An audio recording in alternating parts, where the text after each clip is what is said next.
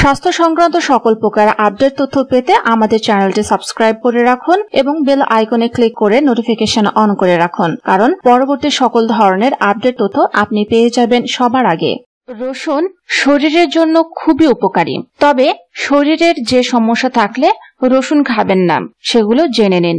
শরীরের জন্য রসুন খুব উপকারী, তবে সবার শরীরের জন্যই এই খাবারটি ভালো ফল নিয়ে আসবে তা কিন্তু নয়। রসুনের কিছু কিছু গুণের জন্য আপনার শারীরিক সমস্যা বেড়েও যেতে পারে। যে সমস্যাগুলো থাকলে রসুন খাওয়া ঠিক নয়, এমন কিছু কারণ জেনে নিন।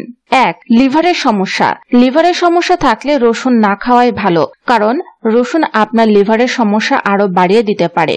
দুই, হোমিওপ্যাথি ওষুধ। পেঁয়াজ, রসুন হোমিওপ্যাথি ওষুধের কার্যকারিতা নষ্ট করে দিতে পারে। তাই হোমিওপ্যাথি ওষুধের কোর্স খেলে সেই সময় রসুন এড়িয়ে চলুন। তিন কারও যদি নিম্ন রক্তচাপের সমস্যা থাকে, তাহলে রসুন কম খাওয়াই ভালো। রসুন রক্তচাপ আরও কমিয়ে সমস্যা তৈরি করতে পারে। চার, রক্ত স্বল্পতা। রসুন রক্তে হিমোগ্লোবিনের মাত্রা কমিয়ে দেয়। তাই রক্ত স্বল্পতা সমস্যা থাকলে চিকিৎসকের পরামর্শ অনুসারে রসুন খাওয়া বাদ দিতে পারেন। পাঁচ, বদহজম। হজমের সমস্যায় ভুগলে রসুন ও তেল মশলাযুক্ত খাবার থেকে দূরে থাকুন। ছয় গর্ভনিরোধক পিল। যদি আপনি নিয়মিত গর্ভনিরোধক পিল খান, তাহলে অতিরিক্ত রসুন খাওয়া থেকে বিরত থাকুন। রসুন গর্ভনিরোধক পিলের কার্যকারিতা কমিয়ে দেয়। সাত, গর্ভকালীন সময়। রসুন শরীর গরম করে। গর্ভাবস্থায় অতিরিক্ত রসুন খেলে তার শরীরের তাপমাত্রা বাড়িয়ে দেয়। যার ফলে গর্ভপাতের সম্ভাবনা থাকে। যাদের